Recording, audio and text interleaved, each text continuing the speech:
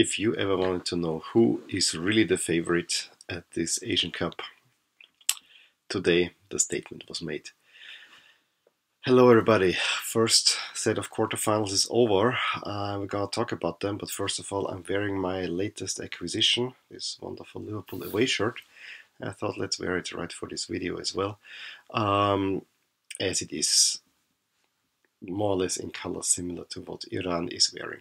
But before we get to the Iran, uh, let's talk about uh, Vietnam playing Japan because that was actually the more interesting game ahead of uh, today's matchups. You would have thought that you know Vietnam Japan that should be an easy one for Japan overall, and then a slightly tighter match for China against Iran.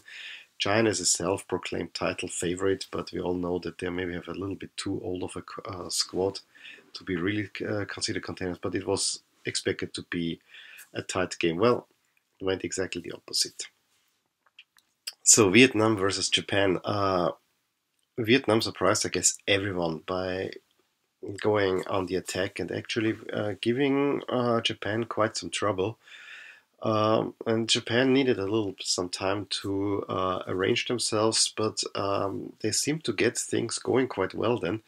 Uh, when after a corner, around 23rd, 24th minute, uh, was headed in by Maya Yoshida.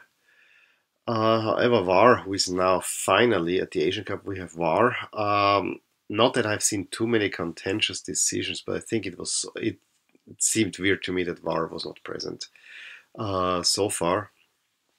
So yeah, header uh, the header went in, and VAR disallowed the goal because the header went onto the, uh, his hand.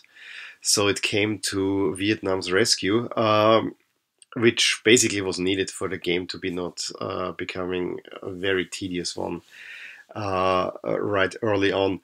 And uh, it continued with Vietnam being a little bit more offensive than Japan. Japan is kind of this typically tournament team. Uh, like at the World Cup, I keep saying Germany, I keep saying Italy, where you always have the feeling they struggle, they struggle, they struggle, but in the end they get the result, and that's exactly what happened again. Uh, in the second half, uh, Doan uh, was uh, through, but uh, seemingly fell in the box. Even the referee said, "No, no, no."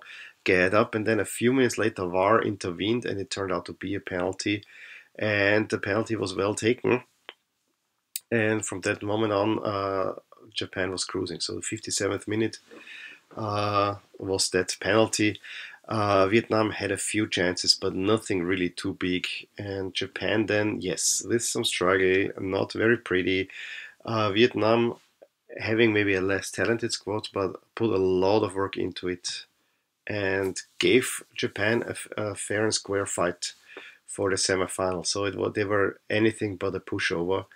And given that the squad is relatively young, I have the feeling, uh, we might hear of Vietnam. If not at the World Cup stage, we might hear of them at uh, the next Asian Cup for sure. So that meant Japan are the first qualifiers, and then I think all eyes were on China versus Iran. Um, again, China self-proclaimed favorites, and yeah, they had the first chance in the sixth minute when uh, they just couldn't put the ball on goal. I think they they could have made the breakthrough. Uh, and the game was actually very uh, open. I think China was try to have the initiative, but you know, Iran is also one open game, and um, from all that I could gather, this was one of the more exciting first half, or at least beginning of games uh, that, that we had had this Asian Cup.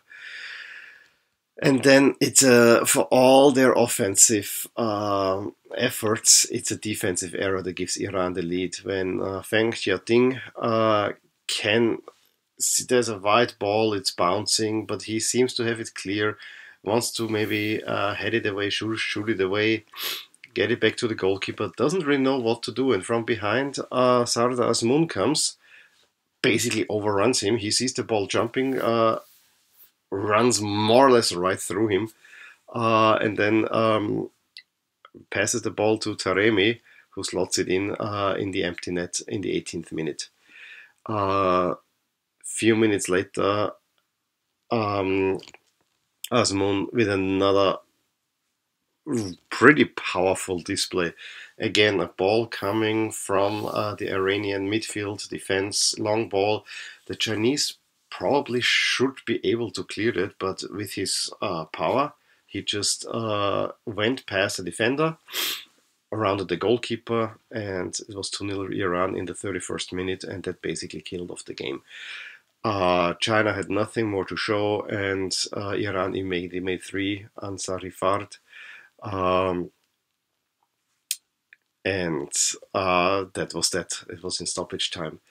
So Iran really looking strong. I mean, uh, we all expected them to be better than uh, China, but destroying China 3 0, uh, that was, was came a little bit unexpectedly. And also have in mind, uh, this was uh, Marcello Lippi's, Marcello Lippi's last game as a Chinese national team coach. So it will be curious to see whether he will uh, quit his coaching career altogether or that was it. But yeah, Iran made a statement. They are meeting now Japan. That will be a game to watch. Um, I think that could well set the tournament on fire. Uh, this seems to be a clash of true giants. With Japan, as I said, a little bit always having put in more work than you might expect, and Iran um, also not always convincing, but um, you can see the ability in that squad. And I think on the Asian stage, this is scary. And this is a team that hung in with Spain. This is a team that hung in with Portugal. So uh, they're definitely no pushover. Um, and I fancy them highly in this tournament. So um, I'm quite excited about that game. Again, unfortunately, unfortunately, I will only see highlights and not the game itself, because that is one that I would probably like to watch. Maybe I have to check the listings on Eurosport. Um, the next set of quarterfinals is, of course, um, South Korea against Qatar, which is interesting. Then the United Emirates against Australia. So let's see if I will wear yellow tomorrow. If I wear another color, uh, will be quite interesting. Let me know uh, if you saw those games. If you agree with my assessments. Again, I watched highlights, which unfortunately AFC only gives me two minute highlights, two and a half minutes, most three minutes, and then I'm reading up to it. And uh, this is all that I could gather for these matches. I really wish I could tell you more personal experience, but as I said, they are not showing the Asian Cup here. And yeah, give me a thumbs up if you like the video. Sorry, I really have a cold. I'll get better soon. Subscribe to my channel if you want to see more of these, and I will talk to you soon. Bye.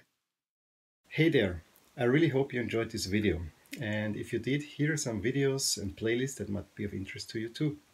Also, please consider subscribing to my channel as it will give you all the updates on my channel, all things My Soccer Universe. And with that, I want to wish you a wonderful day.